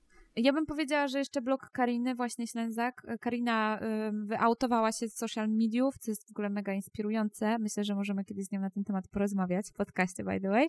E, ale blog, blog jej zdaje się istnieje, warto sprawdzić. Karina Ślęzak. E, jest taka książka, ojeny, przepraszam, nie pamiętam, Microcopy, nie pamiętam autorki, e, ale jest y, ciekawa. Można w PDF-ie kupić. Sprawdzę i podlinkujemy pod e, odcinkiem, bo, bo, nie pamiętam, już teraz mi się te tytuły mieszają, e, ale, ale sprawdzę. Czy posty na Instagramie też w Figmie są robione? Tak. Tak, wszystkie nasze materiały graficzne są robione w Figmie. Mhm. Dobrze, słuchajcie, to jakieś osta ostatnie pytanie. E, jeszcze zerknę, czy coś się pojawiło. A jeszcze Artek e, pyta, mam pytanie z innej bajki, chodzi o wystąpienia publiczne i szlifowanie umiejętności copywriterskich. Możecie polecić kanały lub kursy? Tak, wystąpienia publiczne. E, e, Kamil Kozioł, e, bardzo serdecznie polecam sprawdzić, co, co robi. Też miał swoje wystąpienia na YouTube. Mm, I przede wszystkim praktyka. Bez tego to w ogóle, wiecie, to do niczego się same książki nie przydadzą. A jeśli chodzi o szlifowanie umiejętności copywriterskich, tak, sen, senność tutaj pisze, że jest Magda, burza w mózgu. Tak. My nie robiłyśmy jej kursu, ale obserwujemy jej działania i faktycznie jest bardzo fajna, więc pewnie kurs też jest fajny. Magda Owsiany, tak, więc, tak. więc możecie sprawdzić. Tym bardziej, że senność tutaj e, poleca. Mhm. E, dobrze, to jeszcze jedno. E, perkac. Jakiś krótki poradnik Notion gdzieś macie? Mam wrażenie, że z tym programem mogę polecić w kosmos, ale nie, na razie nie oderwam się od Ziemi. E, na YouTubie jest tego mnóstwo, jakieś właśnie poradniki, tutoriale. Zresztą, jeżeli masz dostęp do EduWeba, to tam e, Grzegorz Róg zrobił dwa takie warsztaty godzinne. Jeden jest e, początkujący, drugi jest zaawansowany, więc to, to też jest fajne. Senność jeszcze pytanko. Jak Wam udaje się trzymać taki wysoki poziom produktów, wszystkich działań w sieci? Bo wszystko macie dopięte na ostatni guzik. Wspaniałe. No jak my to robimy, Paulina? Zapisujemy wszystkie pomysły. Hmm. No właśnie, to jest chyba kwestia jakiejś tam organizacji, tego, że zapisujemy sobie to, to, do czego doszłyśmy wcześniej, zapisujemy sobie błędy. Mamy zawsze na Notion taki page, co zrobiłybyśmy inaczej następnym razem. No i staramy się to zmieniać właśnie w kolej, kolejnym razem. Yy, I wykorzystujemy też te workflowy, które tworzyłyśmy przy okazji poprzedniej na przykład konferencji, więc mamy gdzieś tam już pewne rzeczy wyrobione, bo robimy to już od lat, e, ale też e, jak tylko nam się coś przypomni, to po prostu wyrzucamy to, e, wyrzucamy te pomysły w taski, albo właśnie gadamy o tym najpierw na Slacku, albo od razu to zapisujemy, bo często po prostu takie rzeczy przychodzą do głowy, a jeszcze można to dopracować, a to jeszcze to gdzieś pomiędzy. I czasem nie ma czasu, żeby to zrobić od razu, więc warto sobie to zapisać i zaplanować sobie czas na zrobienie tego. Wydaje mi się, że to to. Tak, jeszcze. Mhm. Ja myślę, że jeszcze poza tym właśnie to jest takie, e, takie że, taka, taka rzecz pragmatyczna, zapisywanie, to jeszcze taka rzecz y, po prostu misyjna i, y, i związana z naszymi jakimiś aspiracjami, że my po prostu chcemy robić dobre rzeczy i mm, mamy też świadomość, że nie zawsze na, na, na, wszystko, wszystko możemy dopiąć tak, jak, jak my byśmy sobie marzyły, ale to też jest nauka um, zasady Pareto, 20% wysiłku, 80% sukcesu. Um, i gdzieś y, priorytetyzacja tego, co my chcemy osiągnąć. I po prostu my chcemy jeśli coś sprzedajemy, to musi być to po prostu dopracowane, żeby nie było siary, tak mówiąc kolokwialnie. I to po prostu gdzieś ta zasada no, no, nam, nam jest takim drogowskazem. No, jak, no były sytuacje, że musiałyśmy coś, nie wiem, zrobić dwa razy, nie? Czasem albo wstrzymać na chwilę. I, i tak się też może zdarzyć, bo, bo chcemy po prostu dostarczyć Wam no, jak, najlepsze, jak, jak, jak najlepsze rzeczy. Jak to się udaje, no chyba, chyba tym, że mamy podobny podobnie to widzimy e, i podobnie zależy nam na tych samych rzeczach. I, no, więc się dogadujemy i to sprawia, że wychodzi taka, takie wspaniałe po prostu połączenie i, i, i produkt. Tak, no staramy się wejść w buty klienta i zobaczyć tę ścieżkę, którą przechodzi. I nie zawsze się to udaje. E, w sensie czasami jest tak, że coś tam nie, nie wyjdzie, coś nie działa, no ale no po prostu staramy się to wtedy naprawiać jak najszybciej, no bo wiadomo, jesteśmy tylko ludźmi. No ale właśnie tak jak wspominałam wcześniej, jak ktoś nam zgłasza coś, no to E, staramy się e, na to szybko odpowiedzieć, bo dla mnie to jest też ważne, jak, e, jak ja coś zgłaszam do jakichś produktów czy do jakichś usług. Jak ktoś odpowiada, no to spoko, no po prostu zdarza się, nie? Jakby naprawią i będzie git. No to staramy się też tak to robić. Tak. Ola się jeszcze pyta Y, Ola, pozdrawiamy Olę Kulińską. Y, w jaki sposób decydujecie, że wchodzicie w dany temat? Bardziej intuicja czy badanka i dane? No, Ola, pewnie przyszłaś później. Mówiłyśmy trochę o tym, że, fakty, że jest to połączenie intuicji, na, właściwie tego, co my chce, czego my chcemy się nauczyć, naszych zainteresowań, obserwacji rynku, ale też badania ankiety wśród naszej społeczności. Więc, więc to jest to. I jeszcze było pytanie na, e, wpadło, e, zobaczyłam właśnie na, na Insta, e, jakimi gravelami jeździmy? Tylko powiem, że gravel to jest taki typ roweru. To jest taki idealny rower na coffee ride, ale też do, do jazdy po lesie. Kiedyś miałam newsletter na ten temat, a propos jak product design łączy się ze sportem i tam mm, była taka fajna definicja, którą gdzieś znalazłam, że właśnie to jest taki coś pomiędzy szosą smukłą szosą, a y, topornym rowerem, no, w cudzysłowie, przepraszam wszystkich, którzy używają roweru MTB, a rowerem MTB, który jest taki, wiecie, po prostu y, na, na ciężki warun górski, nie tylko, więc to jest gravel. Paulina, jakiego masz gravela? Ja mam gravela y, zrobionego przez polską firmę warszawską, który się nazywa Bitter, tak jak po angielsku by i ty, ty, ery. I to jest e, firma, która właśnie powstaje. E, dosłownie jestem trzecią klientką tej firmy, e, więc polecam. Mm, bardzo fajne rowerki w dobrej cenie i no super mi się używa. Właśnie go odebrałam dosłownie w sobotę a wcześniej mogłam go przetestować w różnych warunkach. Właśnie dostałam rower na testy, y, mogłam sobie pojeździć trochę po szosie, trochę po lesie, byłam w Campinosie, mm, więc bardzo fajne jest to, że y, właśnie Waldek, który jest właścicielem tej firmy, on projektuje te, te rowery, mm, on udostępnia te rowery na testy, więc polecam.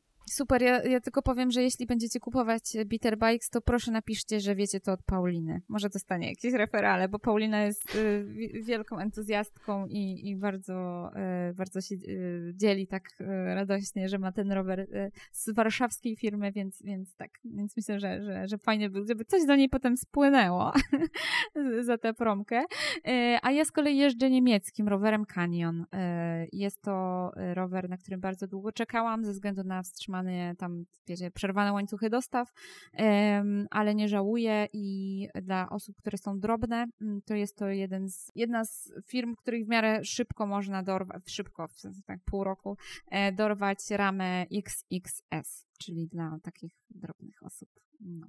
Mm, także polecam, zwłaszcza dziewczynom. Tak, właśnie generalnie jest trudno kupić nowy rower, bo trzeba długo czekać, tak jak Aga czekała. E, a właśnie w Bitter jest o tyle to fajne, że oni teraz ruszają, więc te rowery są e, i czeka się jedynie miesiąc, więc to jest też ważne. Dobrze, słuchajcie, to chyba było ostatnie pytanie. E, fajnie, bo nie, nie, nie stricte niezwiązane z, z naszym biznesem, tylko z naszą nową pasją. E, bardzo Wam dziękujemy, że, że w ogóle jesteście, że wpadliście, wpadłyście spontanicznie e, i posłuchaliście, zostaliście do końca. Jeśli będziecie mieć jeszcze jakieś pytania, to pamiętajcie, jesteśmy zawsze po drugiej stronie i możecie odpisać na nasz newsletter. My wszystkie odpowiedzi czytamy i każda korespondencja gdzieś tam mm, przepływa przez nasze palce. E, więc bądźmy w kontakcie. Mm, no i super się cieszymy, że jesteście częścią naszej społeczności, bo bez Was to nie, to nie byłoby to samo. Dokładnie. Trzymajcie się, miłego wieczoru. Dzięki, że spędziliście z nami ten czas. Tak zupełnie niezapowiedzianie. Papa. Pa. Do usłyszenia i do zobaczenia. Bardzo dziękujemy Ci za wysłuchanie tego odcinka. Notatki i linki do niego znajdziesz na naszej stronie designpractice.pl ukośnik 010. A jeśli podoba Ci się nasz podcast, to koniecznie zasubskrybuj go w swojej platformie podcastowej albo na YouTubie. Będziemy też bardzo wdzięczni za feedback w postaci komentarza. a na nowe odcinki możesz liczyć w każdy pierwszy i piętnasty dzień miesiąca. Pamiętaj też o zapisaniu się do newslettera, żeby nie przegapić żadnego nowego odcinka. Wejdź na designpractice.pl.